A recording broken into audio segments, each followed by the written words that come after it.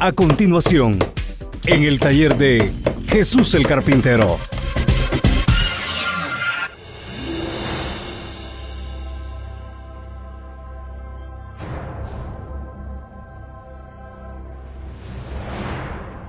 Gloria a Dios. ¿Ya lo tenemos todos? Apocalipsis en el capítulo 13 y vamos a leer solamente el versículo 1. Ponga mucha atención a la palabra de Dios y yo creo que Dios va a tratar con nosotros en esta noche. Dice así la palabra de Dios. Apocalipsis capítulo 13, versículo 1. Me paré sobre la arena del mar y vi subir del mar una bestia que tenía siete cabezas y diez cuernos, y en sus cuernos diez diademas, y sobre sus cabezas un nombre blasfemo.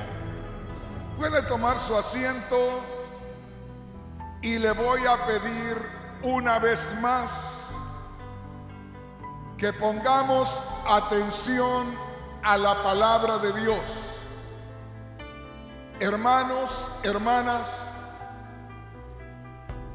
créame, yo no sé cómo se sienten los demás predicadores de la palabra de Dios, pero en lo personal hay ocasiones que yo me siento impotente, hay ocasiones que si no fuera de parte de Dios, siento que entraría desesperación humana en mi corazón y terminaría por ya no hablar de la palabra de Dios. Ojalá que me esté entendiendo. Lo que quiero decirle, hay tanto peligro en estos días para la humanidad y aún para los que ya conocemos de la palabra de Dios. Y hay tantas cosas de las cuales tenemos que ser alertados que ya el predicador que conoce realmente los peligros que hay, hay momentos que se siente impotente, como cuando queremos guardar una casa que no le entre la corriente de agua por la tormenta que está cayendo sobre aquel lugar, aquella área, y que al principio como la corriente no es muy fuerte, podemos desviarla, podemos cuidar la casa que no se inunde, pero hay un momento cuando la corriente ya es tan fuerte que ya parece imposible que uno pueda librar aquella casa. Ojalá que me entienda. Hermanos, hermanas, tan solo para alertarlos a ustedes de los peligros que vienen al pueblo de Dios, no me alcanzaría el tiempo predicándoles todos los días. Así es que solamente Dios ha de tener misericordia de nosotros y espero que cada uno de ustedes, hermanos, hermanas, puedan escuchar con atención y puedan aprovechar el tiempo, porque como dice la palabra de Dios, aprovechen bien el tiempo porque los días son cortos. Ponga mucha atención a lo que dice aquí la palabra de Dios. Posiblemente voy a estarle dando cuatro mensajes en estos tres días de hoy hasta el domingo por la noche y los cuatro van a ser sobre este tema. Y el tema va a ser sobre lo que dice ahí en Apocalipsis capítulo 13, sobre las dos bestias de Apocalipsis capítulo 13. Si usted hermano, hermana, lee juntamente conmigo, ahí en el capítulo 13, en la Biblia Reina Valera, hay una parte antes de empezar a leer el verso 1 del capítulo 13, una inscripción en letra negra, yo no sé qué dice en su Biblia. Las dos bestias. Siempre les he dicho, hermanos, hermanas, en la Biblia Reina Valera y en algunas otras Biblias, aparece a veces una inscripción en letra negra antes de empezar a leer el contenido bíblico. Y esa inscripción la usó el traductor de la Biblia para que nosotros pudiéramos darnos una idea de lo que íbamos a estar descubriendo a continuación. De manera que cuando nosotros leemos ahí en la Biblia Reina Valera y leemos que dice las dos bestias, hermanos, hermanas, oiga esto, la situación es tan terrible, al menos yo he tenido la revelación de parte de Dios acerca de eso. Y la situación es tan terrible que ya no necesito leerle más. Solamente la inscripción que aparece ahí y que no tiene nada que ver con la escritura todavía, sino que es lo que el traductor quiso poner ahí para saber qué es lo que a continuación íbamos a encontrar. Cuando hace referencia a dos bestias, en realidad está hablando de dos seres humanos. Lo mismo también está hablando de un reinado, de una potencia. Pero nos vamos a centrar en lo que dice las dos bestias que a la vez esas bestias están representando a dos personajes. Cuando le hablo de dos personajes, le hablo de dos personas humanas como usted y como yo. Pero dos personas humanas como usted y como yo. Pero poseídas por Satanás en un 100%. Y son dos personajes que se están describiendo ahí como dos bestias o dos personajes o dos hombres bestiales, terriblemente o completamente poseídos por Satanás. Con esto le digo todo. Usted no tiene una idea de lo que es eso. No tiene una idea. Para esto se requiere una revelación de parte de Dios. Déjeme decirle, cuando apenas estaba empezando a conocer yo las cosas de Dios, ya se los he dicho en otras oportunidades, el Señor me dio una visión, una visión tan clara que hasta este momento yo no la puedo olvidar. Es como que apenas me la dio anoche. Y esta visión yo no sabía qué tan profunda y qué tan terrible era. Yo solamente me vi caminando en un camino como de oeste hacia el este, o sea, en esta dirección como estamos, venía yo del este hacia el oeste Y a una distancia, por todo ese camino, iban y venían personas.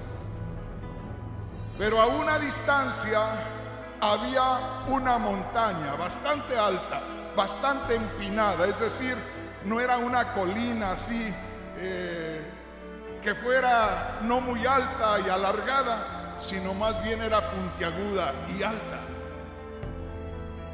Y yo veía gente que iba y venía, pero a lo lejos veía yo que a media montaña la gente empezaba a subir y a lo lejos solamente veía yo que agitaban los brazos y como que se resistían a subir aquella montaña, pero hasta ahí no sabía nada más. Pero como iba por ese camino, cuando menos acordé ya estaba a una distancia como de unos 50 metros. Y ya podía ver yo que personas que venían del oeste hacia el este, al llegar a aquel camino, empezaban a subir hacia aquella montaña por un camino que subía. Y los que iban de aquí del este también al llegar a aquel camino tenían que subir. Y aquello que yo veía que agitaban los brazos y como que se resistían, era que ellos no querían subir, pero había algo que los hacía subir a la fuerza. El asunto es que cuando yo llego a una distancia como de unos 8 o 10 metros, vi a una persona que estaba subiendo, pero en contra de su voluntad. Era, era atraída, era arrastrada por una fuerza que no se veía, pero sí se notaba cómo aquella fuerza iba llevando a estas personas hacia arriba. Y cuando yo llegué un poco más cerca, unos seis metros, aquella persona me gritó y me dijo, ayúdeme. Y yo no sabía qué hacer porque no sabía de qué o por qué le iba a ayudar. Solamente veía que esa persona estaba subiendo, no veía yo nada más, pero sí entendía que había una fuerza muy poderosa que la estaba haciendo subir. Esta persona me gritó tres o cuatro veces. Y ya cuando iba caminando a una distancia cuesta arriba, me dijo, ayúdeme, porque usted ha sido enviado a ayudarnos. Y hasta ahí yo no entendía nada. Llegué a donde subió aquella persona y lo veía cómo iba subiendo y cómo se iba resistiendo, pero cada paso que daba era arrastrado con más fuerza. El asunto es que yo llegué al caminito que subía a la montaña, no sentí nada. Y pasé y no sentí nada. Y ya cuando iba como a unos seis metros de aquel lado del camino, me vino una curiosidad. Bueno, ¿qué es lo que le pasa a esta gente que todos son arrastrados para allá? Y me regresé y me puse ahí en el camino mirando hacia arriba y yo no sentí nada. Entonces sentí la curiosidad de ir a ver qué pasaba. ¿Por qué? Porque allá en la cumbre de aquella montaña había una choza. Una choza de esas que se hacen de hierba seca. Esas chozas que hay por allá en los pueblitos que cortan la hierba verde de este tamaño y se seca y luego hacen las paredes y el techo, todo. Y allá arriba había una choza de esas. Y de pronto se veía como que el techo de aquella choza se levantaba y salía un color rojizo como si hubiera fuego allá adentro y se oían los gritos de la gente que había subido allá. Y entonces aquello me llamó la atención. Y como yo no sentía nada, dentro de mí dije, pues voy a ver a ver qué pasa. Yo creo que no era yo el que tenía el valor de ir allá. Yo creo que era el Señor en mí que quería llevarme para mostrarme algo. El asunto es que empecé a subir Y ya casi llegando a la mitad de aquella montaña, empecé a sentir una sensación muy rara. Como que ya había una fuerza que me estaba llevando hacia arriba. Como que ya no era asunto de que si yo quería ir o no quería ir. Como que ya había entrado en un camino de donde uno ya no se puede regresar. Y ya de ahí empecé a batallar y ya no era asunto de que yo quería subir era asunto de que ya estaba en el camino y que no había forma de regresarse. Ya en la segunda parte, en la otra mitad, empecé a darme cuenta lo que aquella gente sentía.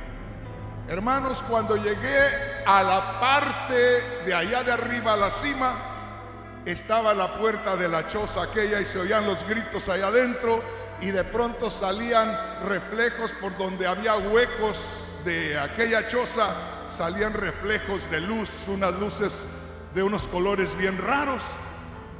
Y de pronto me encontré frente a la puerta de la choza. Y hermano, solita la puerta se abrió y cuando se abrió la puerta sentí un poder tan terrible que ya no era asunto de que me podía detener. Sentí que algo me traía a que entrara ya con la puerta abierta y hermanos me vi en la puerta con mis dos brazos queriéndome detener de los lados de la puerta unos palos que tenía muy fuertes y no podía sostenerme al grado que de pronto fui arrastrado con una fuerza que mis brazos no pudieron sostenerse y me encontré dentro de aquella choza. Estando dentro de aquella choza, yo no vi a ninguna persona de las que entraron. Solamente había un personaje, un hombre, el cual estaba con los brazos abiertos, estaba como sentado con los brazos abiertos hasta donde alcanzaba con el brazo derecho y con el brazo izquierdo estaba tomado, agarrado, decimos en México, de el borde de un gran perol, de una gran olla. Y estaba agarrado así de los lados y había algo en la olla que hervía, pero era algo espeso. Era un color como verde amarillento feo. Olía horrible aquello y hervía aquello, se removía. Y el personaje así, como mirando al centro de aquella olla. Y aquel personaje tenía un sombrero como el sombrero típico de los chinos, que son así como un cono, pero grande. Y ahí estaba. Y hermanos, cuando ya me vi frente a ese personaje, sentía que no podía hablar. Sentía que no podía ni respirar. Algo horrible. Y de pronto, sintiendo que era algo malo, me acordé que había que reprender cualquier cosa mala en el nombre de Jesús. Y quise reprender aquello y no podía. Me quedé así, con el cuerpo rígido, no me podía mover. Quería reprender, no podía. No podía hablar. Aquello era terrible, era una fuerza terrible que no podía hablar. Y me acordé, si no puedo hablar, en mi mente puedo reprender. Y quise reprender en mi mente y no podía. Aquello fue horrible y lo más horrible fue que después de haber estado intentando reprender aquello y no poder, de pronto este personaje veo que empieza a levantar la cabeza así. Y cuando levantó la cabeza, haga de cuenta la cara de un chino, de un chino como de 150 años de edad. La parte del ojo lo tenía, o sea, estaba con los ojos abiertos, pero no tenía lo blanco ni lo negro que tenemos nosotros. Era solo un hoyo. Y allá a lo lejos se veía algo como un panorama de un color amarillento, así, muy marcado, se notaba mucho. pero no tenía lo blanco y lo negro de nosotros, solamente el hoyo ahí. Y hermanos, yo me quedé todavía peor que cuando quise reprenderle. Usted no se imagina. No tenía yo forma, sentía que me moría ahí para que me entienda. Y de pronto aquel personaje me miró y se sonrió así, solo dibujó una sonrisa en su boca. Y con esa sonrisa me dijo, ¿verdad que conmigo tú no puedes hacer nada? Y yo, hermanos, estaba como una piedra, como, como una estatua de piedra, así me quedé. No podía hacer nada. Y en eso, hermanos, abrí mis ojos, estaba en mi casa y me dijo el Señor, este será tu enemigo de aquí en adelante. Y yo les digo, hermanos, yo sé quién es Satanás. He luchado contra él muchas veces. Dios me lo ha mostrado muchas veces. Me ha hablado en muchas ocasiones. Y yo sé quién es Satanás. Y yo quiero que usted ponga atención en lo que estamos leyendo en esta noche. Porque esto que está escrito ahí en el capítulo 13 de Apocalipsis tiene relación con dos personajes, dos seres humanos. No le digo que es un engendro que Satanás se manifestó en carne, no. Pero son dos personajes en los cuales Satanás toma el control de la vida de esos dos personajes en un 100%. Si usted ha escuchado o ha leído de esos personajes que han matado a mucha gente, si usted ha escuchado o ha leído de un Hitler, si ha escuchado o ha leído de esas personas que han ordenado asesinatos, dos mil, tres mil, eso no es nada. Estos personajes van a estar plenamente controlados por Satanás. Van a estar en un tiempo cuando Dios le va a permitir a Satanás actuar plenamente en esta tierra. Va a ser un corto tiempo, ya lo vamos a ver, por tres años y medio. Pero hermano, hermana, escúcheme bien. Ya la gran mayoría de los predicadores ya no están tomando esto en cuenta. Hay una cantidad de predicadores que ya solamente tratan de mantener a los hermanos tranquilos. Nada más con que les den el dinero y que vivan tranquilos y todo está bien. No está bien. Hay algo que nosotros debemos recibir como revelación de parte de Dios. La Biblia es clara, hermanos. Dice ahí las dos bestias. Olvídese de cualquier personaje terrible antes de eso. Nada que ver con eso. Las dos bestias. Habla de dos hombres bestiales. Busque como símbolo la bestia más terrible que pueda haber, enojada, loca, como usted quiera. Y eso no es nada parecido a esto. Habla de las dos bestias. Y uno de ellos va a ser un gobernante político que va a controlar todo el mundo. Y yo, hermanos, es mi deber decirles, que nosotros debemos prepararnos espiritualmente para que podamos ser rescatados por el Señor antes que eso suceda. La iglesia del Señor ha de ser rescatada antes que esos personajes se hagan manifiestos. Ahora, hermanos, hermanas, pongan atención. Hay muchos predicadores que creen que la iglesia va a estar aquí cuando esos personajes estén en ese ministerio, en esa misión que van a tener. Más vale que tenga cuidado. Hay quienes han salido de este ministerio y creen que van a pasar el tiempo que estén esos personajes aquí. Yo le digo, cualquiera que se quiera quedar es su asunto. Yo no voy a estar aquí.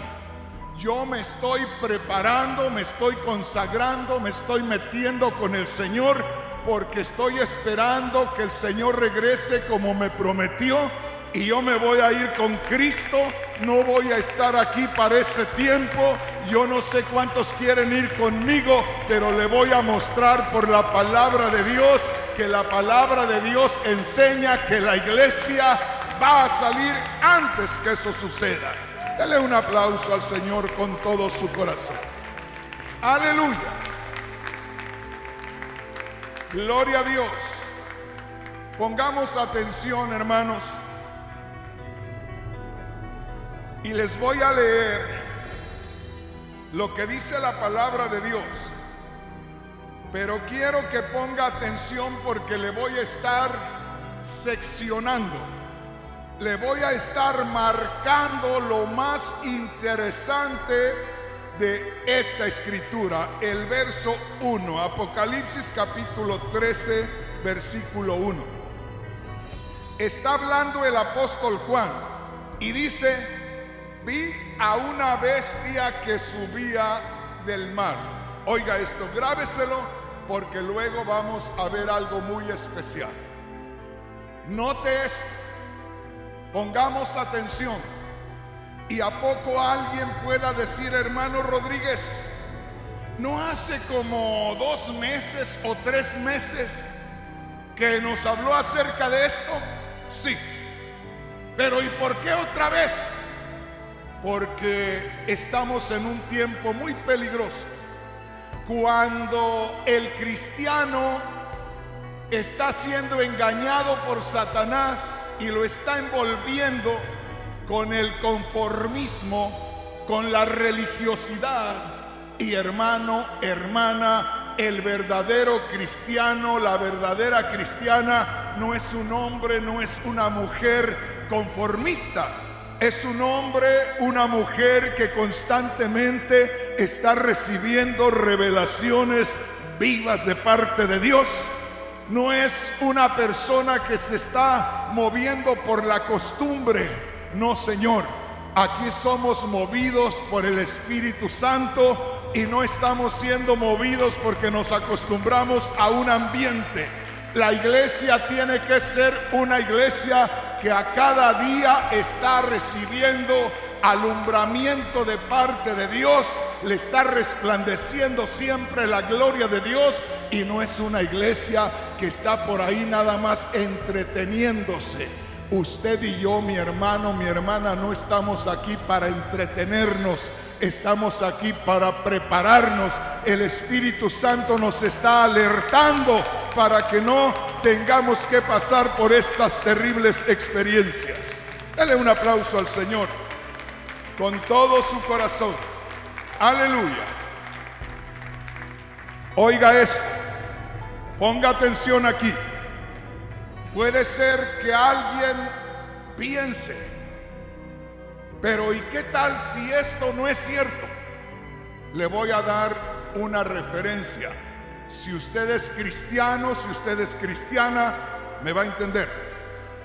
Ahí está hablando el apóstol Juan porque a él se le dio la revelación.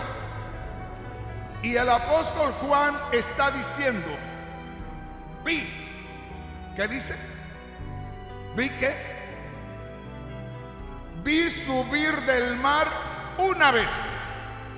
Cuando él dice vi subir del mar, está hablando de algo que ve que sucedió. ¿Sí me entiende? Si alguien de pronto por ahí le viene un pensamiento y algo le dice, pero ¿y qué seguridad tienes que eso va a suceder? Si usted es cristiano, si usted es cristiana, usted crea la palabra de Dios. Y si usted crea la palabra de Dios, ahí tenemos a uno de los doce apóstoles, al apóstol Juan. Y oiga hermanos, oiga lo que les voy a decir. El apóstol Pablo fue un hombre a quien Dios le reveló muchísimas cosas. Si yo fuera a buscar alimento espiritual, iría primeramente al apóstol Pablo después del Señor. Y después de él iría al apóstol Juan, porque el apóstol Juan recibió muchas revelaciones que los demás apóstoles no recibieron.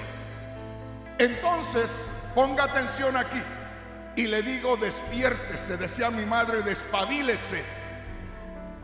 Despabilarse quiere decir que cuando una vela o una candela, como dicen los hermanos de Centroamérica, se está quemando, tiende a quemarse el hilito que está en medio y al rato ese hilito da la vuelta y empieza a ser una llama grande. Y no conviene que ese hilito haga una llama grande porque está quemando la parafina de lo que está hecha la vela o la veladora y hay que despabilarlo, hay que cortarle el pábilo, hay que quitarle el hilito ese quemado ya, porque si no se acaba más pronto la vela. Para que vea que sí sé. Porque cuando yo me crié no había luz todavía. Y eso se hace. Entonces le digo, despabilese. Córtese esa parte que se está quemando para que la luz salga natural. Para que salga bonita y para que dure hasta que Cristo venga. Bendito el nombre del Señor. ¿Me está entendiendo, hermano? Oiga esto, ponga mucha atención. Aleluya. Grábese esto. Si tan solamente esto se le quedara ahí adentro, sería suficiente por hoy. ¿Qué, hermano? Que el apóstol Juan vio que apareció la primera bestia ya la vio aparecer y todavía no aparece. ¿Cómo está eso, hermano Rodríguez? Precisamente, todavía no ha aparecido. Pero Juan el apóstol ya la vio aparecer. Y esto debe de darnos seguridad de que eso va a ser una realidad. Entonces grábese esto, si tan solamente eso se le grabara en su corazón, aunque no entienda lo demás, eso le podía mantener a usted despierto o despierta. Una vez más le digo, hay un peligro terrible. Yo sé lo que le digo. Y por eso no solamente me preocupa la gran cantidad de hermanos que en la iglesia tengo que buscar por la gracia de Dios mantenerlos despiertos sino me preocupa cuántos predicadores, aún de nuestras iglesias, que me están mirando muchos de ellos y me están escuchando, otros tantos no están conscientes de esto. ¿Sí me entiendes, hermano? Mi dolor acá adentro, mi gemir acá adentro es también por aquellos pastores de nuestro ministerio que aunque han leído esto, pero no les ha resplandecido esto como revelación de parte de Dios, porque ellos no sienten estar alertando a los hermanos. De manera que me preocupa, por un lado, lo que le va a pasar al mundo. Me preocupa, por otro lado, que los hermanos en la iglesia estén despiertos. Me preocupa por otro lado que los pastores de nuestra organización en otros lados estén despiertos a esto y que los hermanos allá también reciban esta revelación. No es cualquier cosa. Y si hay algún predicador que no sienta esto y no llore y no gima y no se enferme por esto, entonces déjeme decirle, todavía no le ha amanecido, todavía no ha conocido a Cristo porque está a oscuras en cuanto a la profecía. Dale un aplauso al Señor con todo su corazón. Oiga bien, le voy a leer el versículo 1 seccionado, como le digo, en partes. Lo más importante, y dice así, vi una bestia que subía del mar. Esa es una cosa. Esa bestia tenía siete cabezas. Esa es otra cosa que quiero mostrarle y tenía diez cuernos. Esa es otra cosa que quiero mostrarle. Y tenía una corona en cada cuerno, o sea, cada cuerno tenía una corona, tenía autoridad. También se lo quiero mostrar. Y dice, y escrito en cada cabeza, en cada una de aquellas siete cabezas, estaba escritos nombres que blasfemaban a Dios. Si me entienden, hermanos? Oiga esto. Haga de cuenta que Dios nos está recorriendo la cortina de lo que el mundo no conoce. Esto es algo, hermanos, glorioso. Y aquí es donde yo me siento impotente. ¿Por qué impotente, hermano? Porque yo no puedo meterme allá dentro de usted y hacerle que crea o que vea o que entienda. Aquí es donde uno sufre, uno llora, uno gime, se desespera. Porque quisiera uno que todos los hermanos, todos los pastores, todos los ministros tuvieran esta revelación. ¿Por qué? Porque vemos de pronto que lo que nadie conoce, solo Dios, de pronto se nos recorre la cortina y lo descubrimos y nos damos cuenta. Piensa, hija, mientras que el mundo está en la oscuridad, en el desconocimiento, mientras que el mundo está en la ignorancia de estas cosas, Dios te lo está revelando a ti. Piensa, iglesia, Date cuenta que de pronto Dios nos está mostrando lo que va a suceder en el futuro y nos lo muestra como algo que ya vio el apóstol Juan. Hermano, hermana, el apóstol Juan estaba en una isla. Lo habían echado por allá desterrado porque era un problema para el gobierno era un problema para Satanás y Satanás se movió a que lo echaran allá, a una isla apartado por allá. La tradición dice que lo quisieron quemar en aceite y que no le pudieron hacer nada. Lo dice la tradición, la Biblia no lo dice. Pero algunos que dijeron que vivieron en aquel tiempo, dieron testimonio que lo quisieron quemar en aceite y no pudieron quemarlo y al final lo desterraron por allá en una isla. Y estando allá, por eso yo le doy gracias a Dios por hombres que buscan de Dios. Y yo te digo, hermano, hermana, ay de nosotros si no tuviéramos quien busque a Dios. Ay de nosotros si no tuviéramos el ejemplo del apóstol Pablo, el apóstol Pedro, el apóstol Juan, el apóstol Santiago y todos ellos que escribieron, que dieron testimonio. Tenemos toda la información suficiente para tener revelación tras revelación y para no tener que ser seducidos y engañados por Satanás. Piensa en esto, hermano, hermana y ojalá que nadie se vaya a quedar aquí. Recuerda nada más el apóstol Juan dice, vi una bestia que salía del mar. Esa bestia tenía siete cabezas, tenía diez cuernos. Sobre cada cabeza nombres de blasfemia contra Dios. Piensa eso.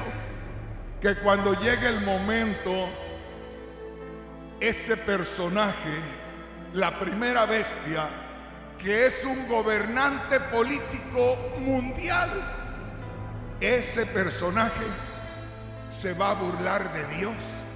En ese tiempo que Dios le permita estar en este mundo, se va a burlar de Dios, va a retar a Dios, va a blasfemar contra Dios y Dios no va a hacer nada durante tres años y medio. Imagínate que sepan que ese personaje está sobre toda la humanidad y que blasfeme contra Dios y diga, a ver dónde está Dios, a ver que aparezca Dios, a ver que me castigue Dios, no hay Dios. Y al final por eso dice que la humanidad dirá, ¿quién como la bestia? ¿Quién podrá contra ella? Y la adorarán, adorarán a ese personaje los que no estén inscritos en el libro de la vida. Los que estén inscritos en el libro de la vida ya estarán con Cristo. Ya nos habremos ido, pero se quedarán aquí aquellos que no le han entregado su vida a Cristo Jesús. Gloria a Dios. ¿Me estás entendiendo, hermano, hermana? Grábate esto entonces. Estamos ante algo que solamente Dios conoce. Y estamos ante algo que Dios se lo quiere revelar solamente a la iglesia.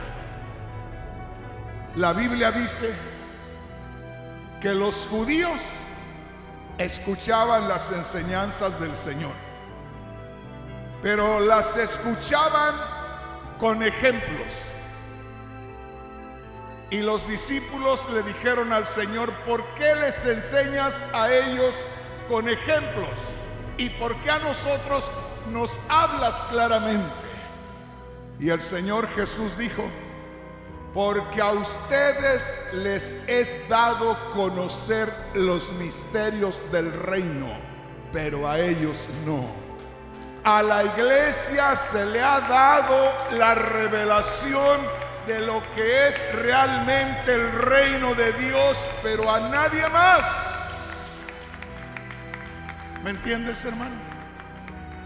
¿Te das cuenta que de pronto estemos ante la presencia de Dios y que lo que va a estar sellado para la humanidad, Dios te lo quiere revelar a ti.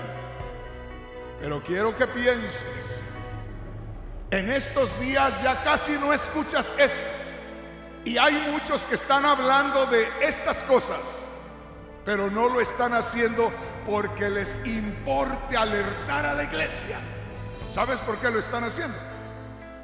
Porque esos temas son muy emocionalistas y llaman la atención de mucha gente y venden montones de CDs o venden memorias con tantos mensajes y te cobran una cantidad por eso. En otras palabras, hablan mucho de eso porque les da dinero lo que producen, no porque les importe que la gente se alerte. Y de esos hay muchos, ya los vas a descubrir por ahí. Pero la palabra de Dios nos está mostrando, piensa esto, grábate esto, que Dios te está recorriendo la cortina de lo que está oculto para el resto de la humanidad. Y te quiere revelar a ti estas cosas. Por eso no me paso tan rápidamente te vas a encontrar quienes te dan un estudio de Apocalipsis en un mes. No saben ni lo que dice. Yo te aseguro que nos pasamos el mes en esto y no lo terminamos.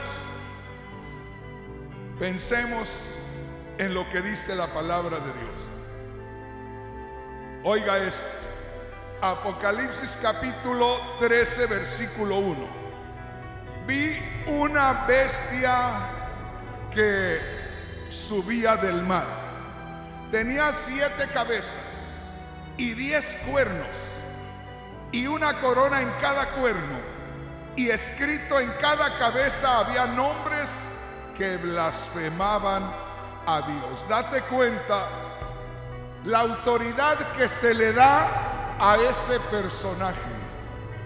Y date cuenta que Dios le va a permitir actuar durante 42 meses, durante tres años y medio.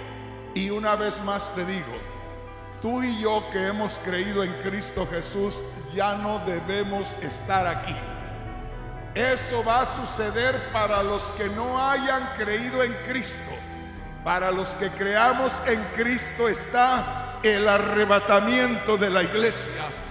Y como te digo, en estos últimos días han salido muchos predicando de que van a estar aquí. Cuando aparezca este personaje van a estar aquí. Déjame decirte, yo no voy a estar aquí, la iglesia no va a estar aquí. Van a estar aquí los que se quieran quedar, los que no tengan la revelación de parte de Dios. Gloria a Dios. Aleluya. Ahora quiero aclararle algo. Oiga bien, ponga mucha atención. Por la gracia de Dios, le puedo hablar de hace 40 años que empecé a escuchar acerca de esto.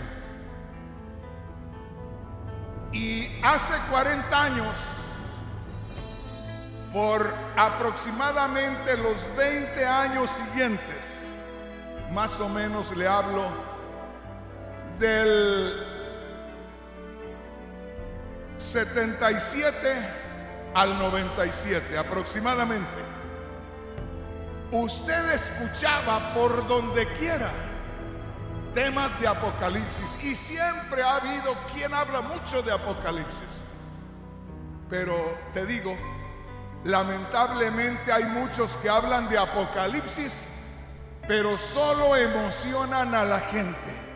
Y la gente se emociona y compra un montón del material aquel.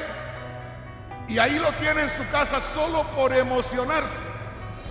En este momento hay miles y miles de cristianos que compraron bastante material de ese y en este momento ni siquiera se acuerdan de esa primera bestia y de la segunda bestia que viene.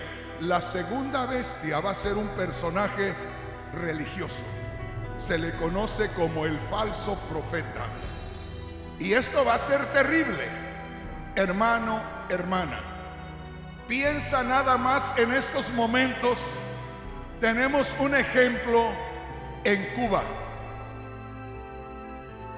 Hace no sé si 60 años atrás se levantó Fidel Castro. Un hombre, aunque era un hombre alto, pero no dejaba de ser un hombrecito. Un hombre común y corriente.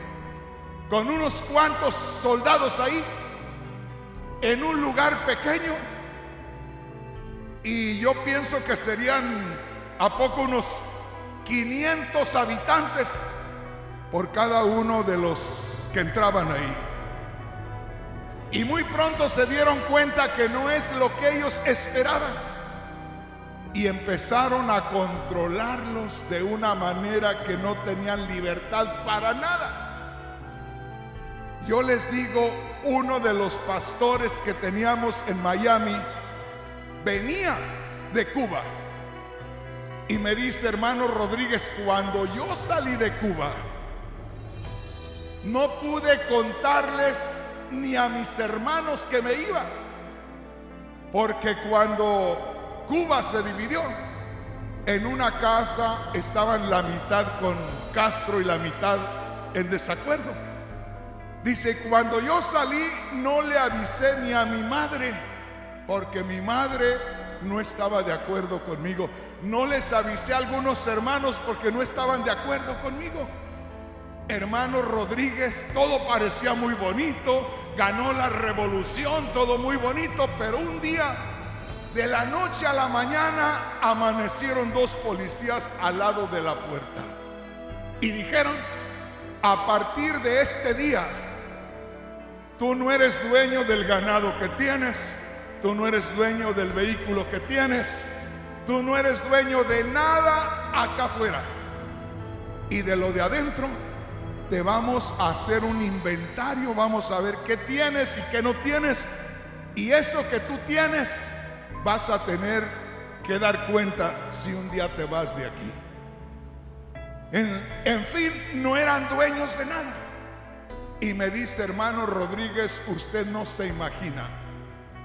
De lo de afuera nos contaban cada animalito. Y cuando teníamos deseos de carne, por allá nos íbamos con mucho cuidado y desbarrancábamos un becerro o un toretito, dicen un torito pequeño, lo desbarrancábamos, lo tirábamos a un precipicio para que se matara. Y decíamos que se había matado y que habíamos encontrado ya la carne echada a perder cuando nos habíamos traído un poco de carne para comer, pero teníamos que entregar las orejas del animal para que se supiera que sí se había matado.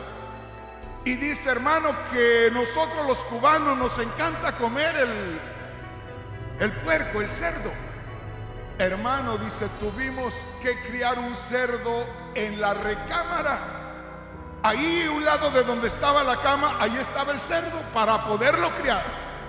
Hasta que nos lo comimos. Era terrible. Ahora piensen esto, a donde yo quiero llevarles a este punto. Hermanos, eran a poco 500 habitantes por cada soldado. Podían venir los 500 y levantarlo en brazos y echarlo al mar. Pero no podían hacerlo. No lo han podido hacer hasta este día. No sé si me estoy dando a entender. Ahorita está la noticia que la gente se anda revelando después de 60 años.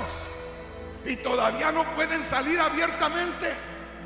Piensa nada más en eso y date cuenta que un día se va a levantar un gobernante con poder directamente de Satanás. La palabra de Dios dice, el dragón le dará todo su poder. Andará actuando el anticristo con todo el poder de Satanás en un tiempo cuando Dios le va a permitir que haga lo que quiera con los seres humanos acá. Y como le digo, hay cristianos que han sido enseñados que se van a quedar y van a estar en ese tiempo. Hermano, yo no voy a estar aquí. Una vez más le digo, si usted quiere ir conmigo, prepárese, preparémonos, pero no vamos a estar aquí cuando eso suceda y por eso nos estamos preparando en estos momentos. Dale un aplauso al Señor con todo tu corazón. Aleluya. Una vez más le digo, cualquiera diría que estamos con temas muy viejos, pasados de moda. Para muchos ya pasaron de moda, para mí no. Porque sé lo que Dios me ha revelado. Y una vez más le digo, no es bueno emocionarse, porque la emoción pronto pasa. Si usted supiera, hace 30 años atrás, cuántos predicaban de Apocalipsis y cuántos se habló de Apocalipsis. ¿Y dónde están ahora? Los que están alertándose, los que se estaban preparando. Se les pasó la emoción y se acabó todo yo no tengo una emoción, yo tengo una revelación de parte de Dios. Y por eso le estoy alertando todavía con mensajes que a poco alguien dice, Rafael Rodríguez está predicando mensajes pasados de moda. Sí, porque ellos ya no tienen la revelación de parte de Dios, ya no les resplandece la gloria de Dios, ya cayeron, hermanos, en el conformismo, ya cayeron nada más en el estar moviéndose ahí como autómatas, no por el Espíritu Santo. Gloria a Dios. Venga conmigo y veamos lo que dice la palabra de Dios. Le voy a leer algo que está aquí y leamos lo que dice ahí en Apocalipsis capítulo 13. Vamos a leer un poquito ahí. Ponga atención. Dice, me paré sobre la arena del mar y vi subir una bestia. Está hablando de un personaje, de un hombre poseído por Satanás, que tenía siete cabezas, quiere decir que tenía todo el poder necesario, todo el poder que necesitaba para controlar al mundo, la plenitud del poder de Satanás y diez cuernos. Luego vamos a hablar de esos cuernos, son diez reyes poderosos que le rinden todo su poder a ese personaje. Luego dice en el verso 3, antes del verso 3, en el verso 2, a la mitad dice esto, y el dragón, ¿lo puede leer ahí? Y el dragón, verso 2 como a la mitad, y el dragón o Satanás le dio su poder y su trono y grande autoridad. Quiere decir, Satanás invistió a aquel personaje con todo su poder, con gran autoridad. En otras palabras, ese personaje era el mismo Satanás manifestado a través de él. Como le digo, y posiblemente usted me ha escuchado hablar mucho de este personaje, pues óigalo una vez más. Y dice que Satanás, el diablo, le dio toda su autoridad a ese líder político, todo su poder gran autoridad. Es decir, era el mismo Satanás en persona. O sea, Satanás estaba manifestando a través de aquel personaje. Cuando ya no está Dios para librar a nadie, oiga bien lo que le voy a decir. Cuando esos personajes se manifiesten, ya no se va a estar predicando el Evangelio de salvación. Se va a estar predicando el Evangelio eterno, pero esto es algo muy diferente. Lo que se va a estar testificando en ese tiempo va a ser que todo lo que pudieron haber hecho y no lo hicieron, como echarle en cara lo que no quisieron hacer, lo que no creyeron, eso es lo que se va a estar dando testimonio a los que se queden ahí. Y hermano, hermana, oiga bien. Cuando Cristo venga, se va a llevar a la iglesia, a los creyentes, al remanente, a los que realmente se consagraron, a los que realmente buscaron al Señor. Y se van a quedar los incrédulos, los que nunca creyeron, los que nunca quisieron, los que te dijeron, sabes que no me hables. Mira, tú con tu religión y yo con la mía. Mira, si quieres ser mi familiar, no me hables de Cristo. Mira, si quieres que nos llevemos bien en el trabajo, no me hables. Todos esos se van a quedar. Pero se van a quedar muchos cristianos que no quisieron obedecer al Señor. En otras palabras, se van a quedar los incrédulos y los van a acompañar los desobedientes. ¿Cuántos predicadores hay que, como te digo, solamente van buscando el dinero para ellos? Alguien me puede decir, hermano Rodríguez, usted no busca dinero, sí. Hermano Rodríguez, usted no pide dinero, sí. Pero también te digo, en estos momentos tengo ya 11 canales de televisión a través de los cuales estoy predicando la palabra de Dios y tengo cinco radios en Centroamérica a través de las cuales estoy predicando la palabra de Dios. No estoy buscando el dinero para mí. No lo necesito.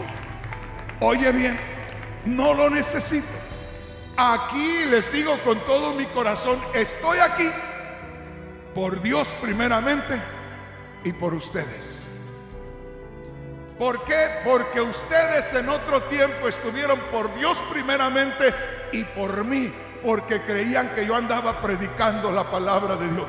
Fueron fieles a Dios, fueron fieles al ministerio, fueron fieles a mí y ahora lo único que me queda es ser fiel a ustedes y acabar mis últimos días con ustedes. Pero su dinero yo no lo necesito. Con lo que a mí me ayuda el ministerio, con lo que me da el gobierno, tengo suficiente para comer, para vivir. Tengo hijos, hermanos, que han visto dinero moverse en este ministerio. Créame lo que le voy a decir. Tengo hijos jóvenes y no se interesan por levantar una moneda y echársela a la bolsa. Así como le digo, que se conforman con lo que hay. Por ahí tengo ese que anda ahí con la cámara, mire. Tenía como dos años y estábamos allá en Carolina del Norte. ¿O a poco tenía casi tres? Soy malo yo para las fechas. Pero la mamá estaba a punto de dar a luz a la hija. Y aquel estaba como de dos o tres añitos. Y los hermanos tenían allá afuera de la casa en el patio, en la parte de atrás, una alberca. De esas que se arman, pero así altas. Y ahí corrían y saltaban los niños de aquella casa. Y mi muchachito tenía como tres añitos y veía por la ventana, ahí quedaba la ventana enfrente de la alberca, y quería salir a saltar ahí. Y los niños le decían, tú no puedes, esta no es tu casa. Y allá lo teníamos que tener allá adentro. Y así aguantamos hasta que fue suficiente, hasta que fue necesario. Y la mamá con una barrigota así a punto de dar a luz y dormíamos en el cemento porque no había cama. Y nos cubríamos con una sábana de esas que se ponen encima de la cama, solo para ponértela encima.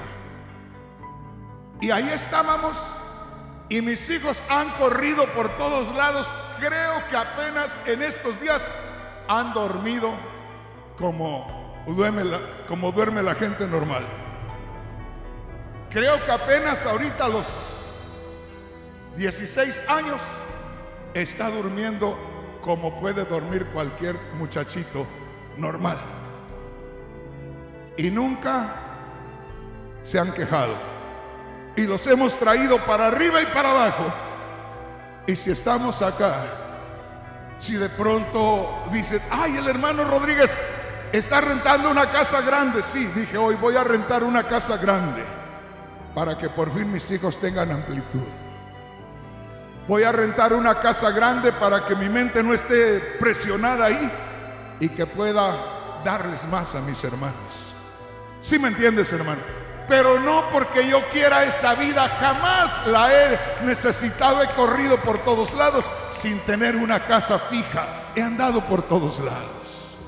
Y hoy estoy aquí contigo, hermano, hermana, y por favor, guárdate esto que te estoy compartiendo. Va a venir ese personaje, una bestia terrible, un hombre bestial, terrible, que va a tomar control de este mundo.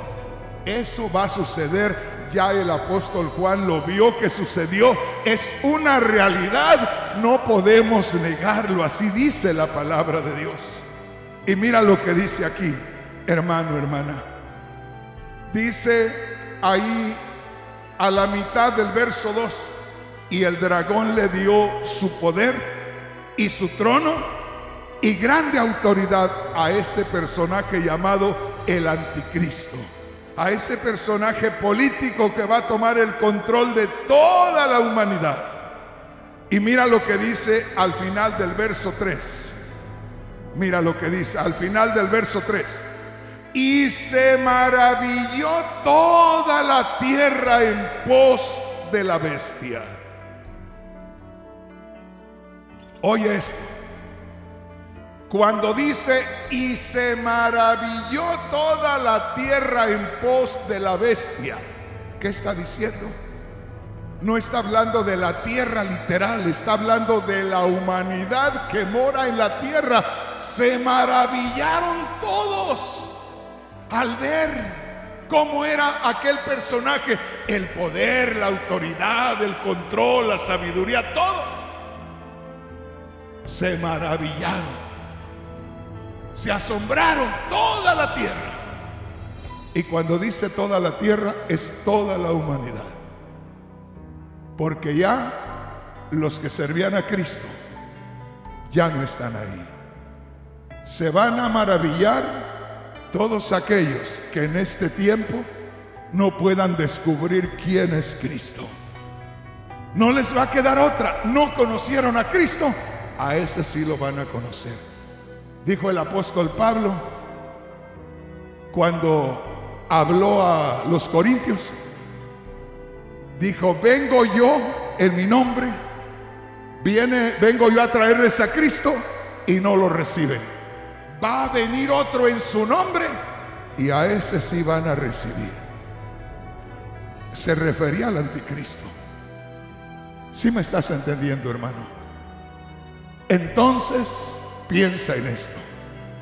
Dice, se maravilló toda la tierra en pos de ese personaje endemoniado. Su corazón va a estar para ese personaje se van a entregar, los va a endiosar, los va a maravillar. Y es que ahorita nosotros debemos maravillarnos con Cristo. Debemos tener la revelación de Cristo, el Cristo glorificado, el Cristo resucitado, para que nosotros salgamos con Él. Mira lo que dice. en el verso 4, y adoraron al dragón, la humanidad de ese tiempo adorará al dragón, a Satanás, al que había dado autoridad a la bestia, a ese personaje, al anticristo.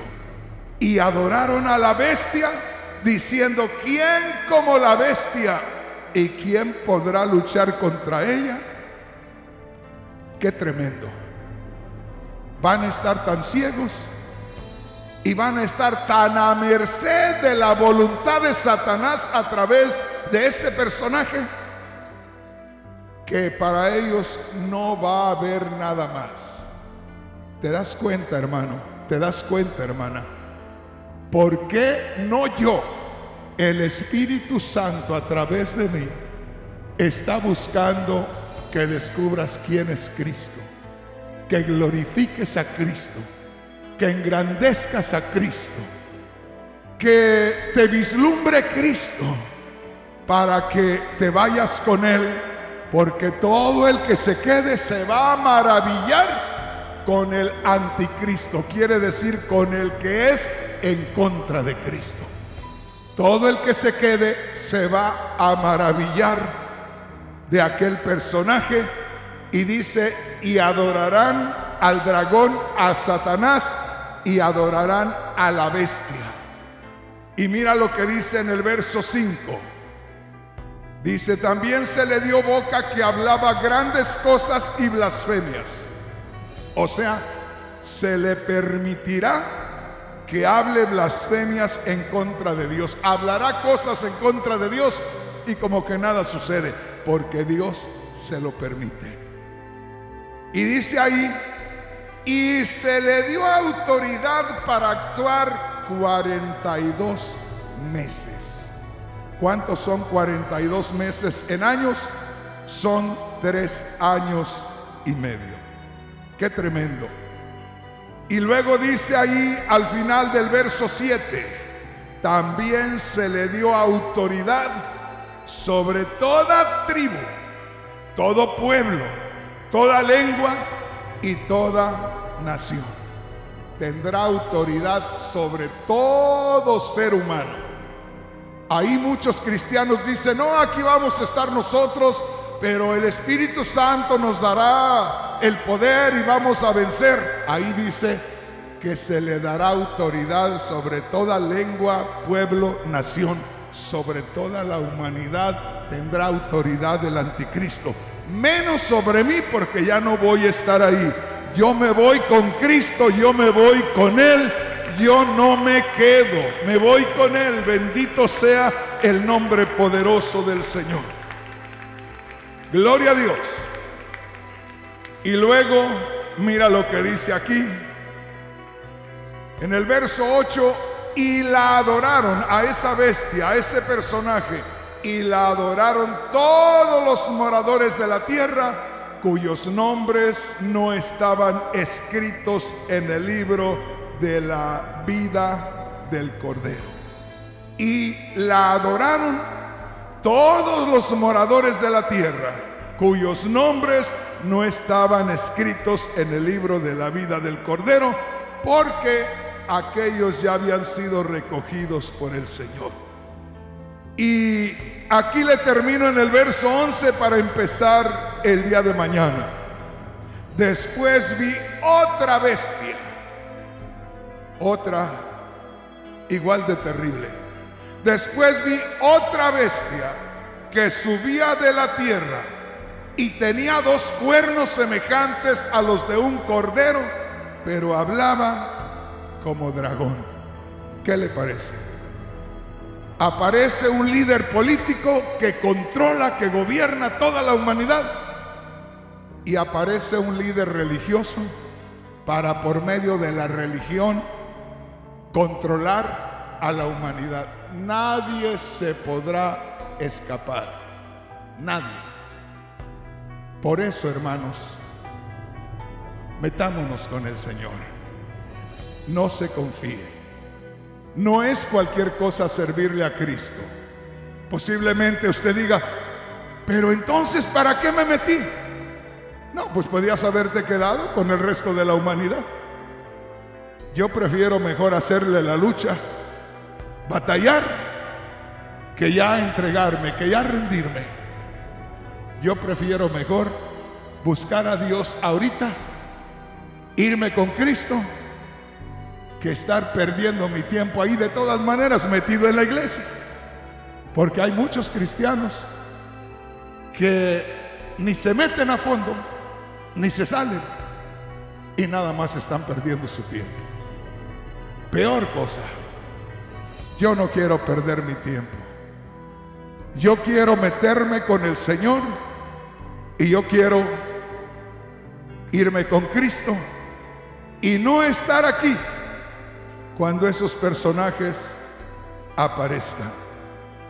Hermano, hermana, ponte de pie y vamos a hablar con Dios.